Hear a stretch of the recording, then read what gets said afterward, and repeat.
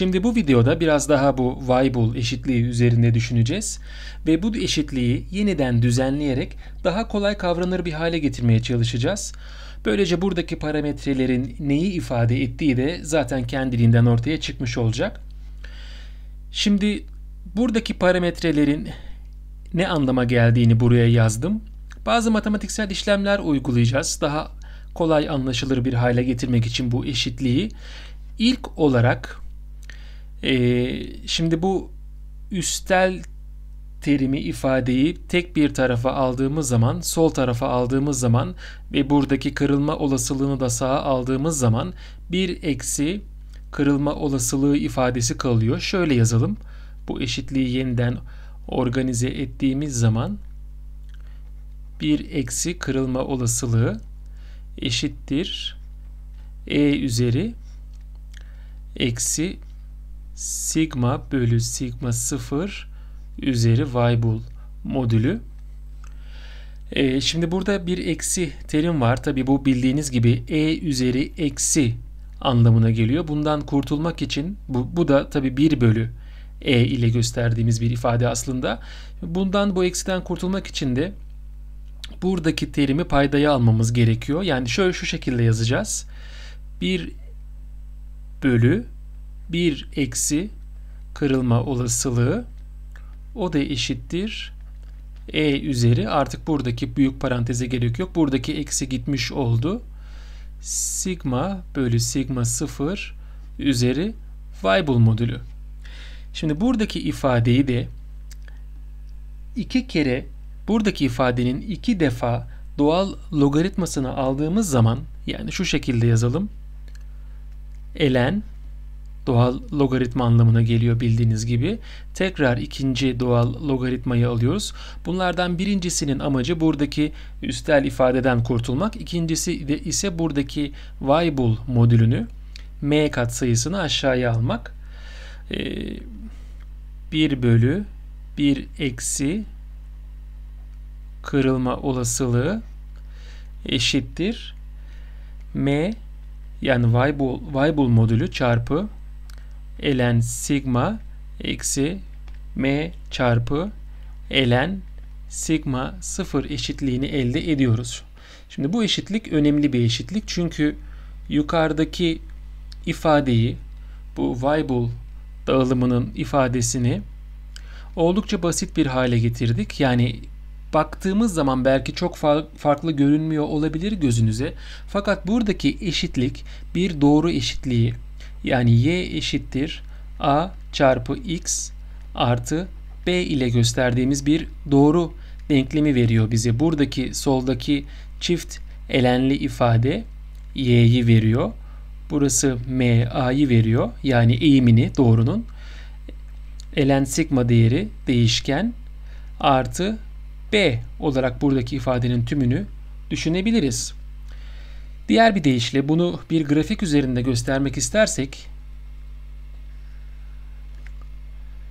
solda burada çizmiş olduğum grafiğe kıyasla çok daha yalın bir gösterim elde edeceğiz. Şimdi anlaşılacak nasıl bir e, kolaylaştırma sağladığı buradaki ifadenin.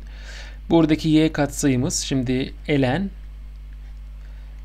elen 1 bölü 1 eksi kırılma olasılığı e, bu eksen ise yani buradaki x değişkeni ise elen sigma dedik.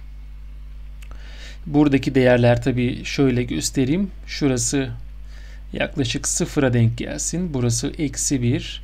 Burası eksi 2 diye gidecek. Burası 1 olacak. Değerler bu şekilde değişecek yani. Ve biz bu şekilde çizdiğimiz zaman bir doğru elde edeceğiz. Buradaki denklemin bize gösterdiği şey de bu şu şekilde bir doğru elde edeceğiz. Tam doğru gibi olmadı ama bunun bir doğru olduğunu kabul edin. Şimdi bu tabi analiz edilmesi ve incelediğimiz zaman üzerinde düşünmesi çok daha kolay bir eğri. Buradaki birikimli dağılım fonksiyonuna kıyasla karşımızda sadece bir doğru var. E, bu doğrunun bizim için enteresan olan iki tane özelliği var. Bunlardan birincisi eğimi, İkincisi ise bu sıfır değerini kestiği nokta. Şimdi teker teker bunlar ne anlama geliyor bakalım. Diyelim ki buraya çizmiş olduğumuz bu eğri tabi yine burada bir deneysel veri var ve biz bunun üzerine bir doğru oturtuyoruz. Yani aslında yaptığımız farklı hiçbir şey yok. Buradaki e, grafiği eksenleri bu şekilde tanımladıktan sonra tekrar çiziyoruz. Bu sefer buradaki grafik bir doğru şeklini almış oluyor. Bunun üzerine bir doğru oturttuk. Diyelim ki bu doğruyu oturtmak için iki tane tabi parametreye ihtiyacımız var. Burada görülüyor. Bunlardan bir tanesi e, sigma 0 yani karakteristik dayanç. Diğeri ise m değeri yani Weibull modülü. Bir tanesi bunların eğimi, diğeri ise sıfırı kestiği nokta. Şimdi zaten ortaya çıkacak. Diyelim ki buradaki m değeri e, örneğin 9 olsun. Weibull modülü 9'muş buradaki dağılım için. Karakteristik dayançta sigma 0 değeri de örneğin 200 megapascal olsun. Bu bir tür malzeme için yaptığımız deney sonucunda M'ye 9, sigma 0'a da 200 vererek buradaki deneysel verilerin üzerine bu çizgiyi, bu doğruyu oturtmayı başardık diyelim. Şimdi kıyaslamalı anlatırsam belki daha iyi olur. O yüzden bir başka deney daha yaptığımızı varsayalım. Yine aynı deneyi yapıyoruz fakat bu sefer farklı bir malzeme kullanıyoruz. Diyelim ki onun da eğrisi şu şekilde çıktı. Böyle bir doğru elde ettik. Bu diğer malzeme için m ve sigma 0 değerlerine baktığımız zaman bunun m'si yani Weibull modülü nasıl bir değer olabilir? Buradaki kırmızı eğrinin eğimi bu beyaz eğriden daha yüksek. Weibull modülü de eğimi verdiğine göre daha yüksek bir değer alması lazım. Örneğin 13 olsun. Sigma 0 değeri de örneğin 300 megapascal olsun. Rastgele değerler atıyorum. Şimdi bu değerler üzerinde düşünerek sigma 0 ve m neyi ifade ediyor bunu anlamaya çalışalım. Biz burada deneysel e, veriler üzerine bir takım doğrular oturtarak bazı değerler elde ediyoruz ama bu elde ettiğimiz değerler bize malzeme hakkında ne söylüyor? Ona bakmaya çalışalım. Şimdi sigma 0 değeri e, malzemenin ne kadar güçlü olduğunu ifade ediyor. Çünkü sigma 0 değeri tam buradaki çizginin sıfır noktasını kestiği yer. Yani buradaki değer elen sigma 0'a eşit her iki numune içinde. Buradaki sıfır değeri burada y eksenini biraz karmaşık bir şekilde tanımladık. Fakat buradaki ifadenin sıfır değerini alabilmesi için bu önemli. Kırılma olasılığının 1 eksi 1 bölü e değerini alması gerekiyor. O da 0.632'ye eşit. Yani e, kırılma olasılığının yüzde 63.2 olması gerekiyor. Kırılma olasılığı yüzde 63.2 olduğu zaman buradaki ifade sıfır değerini alıyor ve buradaki doğruyla kesiştiği noktayı buluyoruz.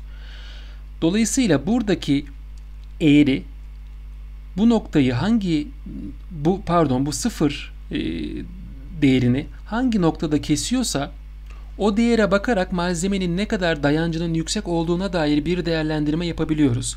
Örneğin buradaki beyaz çizgiyle gösterilen numune %63.2 olasılıkla ya 200 megapascal değerinde kırılma olasılığı nedir diye soracak olsam %63.2'ymiş. Buradan bunu anlıyoruz.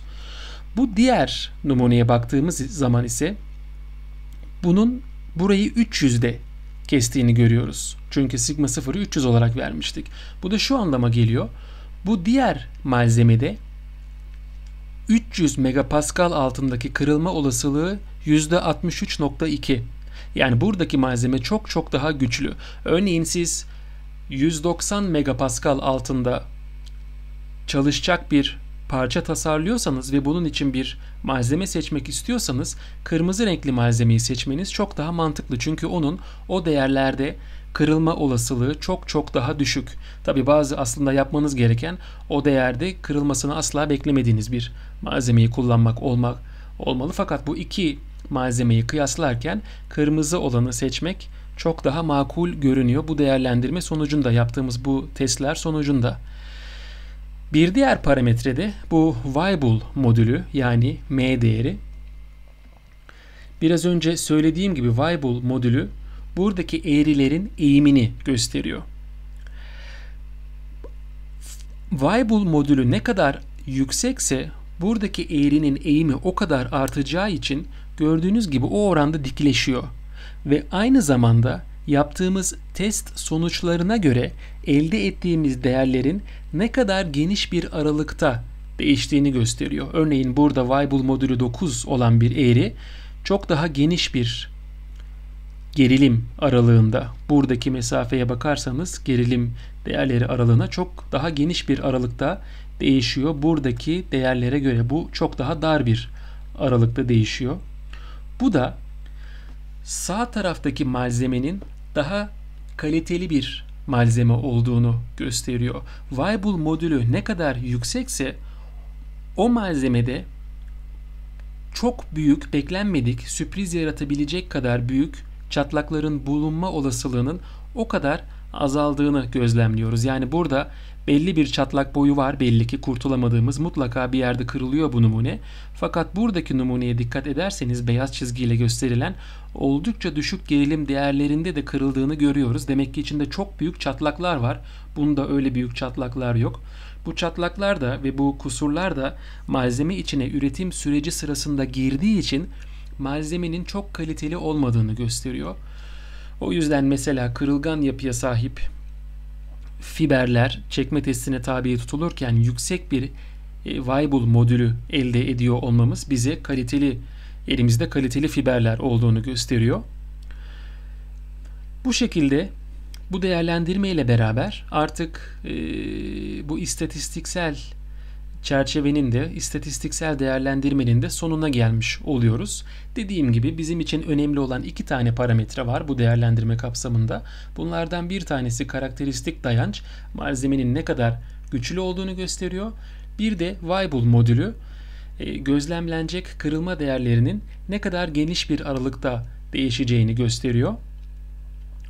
Bunun dışında herhalde şu ana kadar yapmış olduğumuz değerlendirme malzemelerin kırılma dayancı söz konusu olduğu zaman asla akma dayancı gibi tek bir değerden bahsetmemiz bahsetmememiz gerektiğini anlamamız açısından mutlaka bir istatistiksel çerçeve içinde bir değerlendirme yapmamız gerektiğini anlamamız açısından yeterli olmuştur diye ümit ediyorum.